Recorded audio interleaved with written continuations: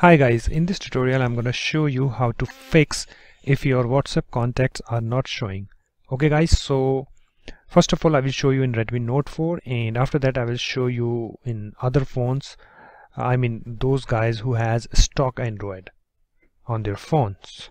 Okay, so I'm in Redmi Note 4 as you can see uh, here uh, I can see this no WhatsApp contacts okay and even if, if I you know refresh it as you can see uh, there is uh, no contacts over here okay? So this is Redmi Note 4 so after that uh, you need to go to you know the settings of your Redmi Note 4 and after that you need to scroll down and find here the permissions you know? So just tap on this permissions and again you have to tap on this permissions.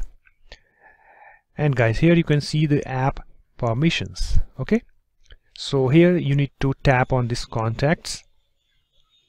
And here you need to find the WhatsApp. Okay?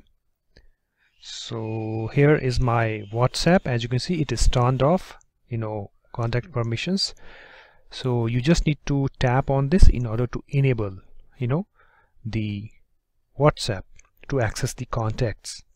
Okay guys? So let me uh, go back and again go to my you know WhatsApp. And if I you know tap on this three dots over here and refresh it. As you can see guys your contact list has been updated and I can see all of my contacts over here. Okay so this is for Redmi Note 4 and I'm going to show you in other phones. I mean those guys who has stock Android. Okay. Hi guys so I'm on my other phone. As you can see it's Android 7.1.1 that is Nougat.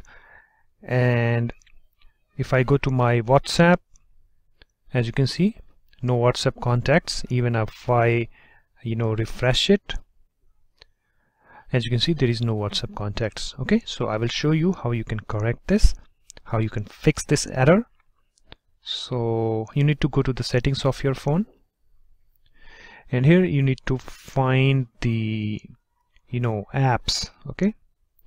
So here we have this apps just tap on it. And here uh, you need to find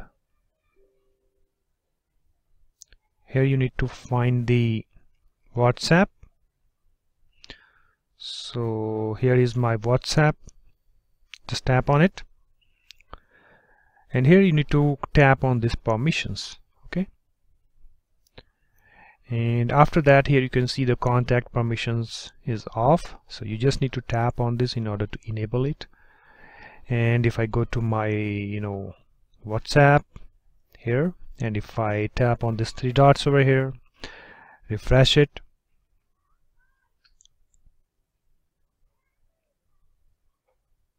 as you can see guys your contact list has been updated and I can see all of my contacts over here okay?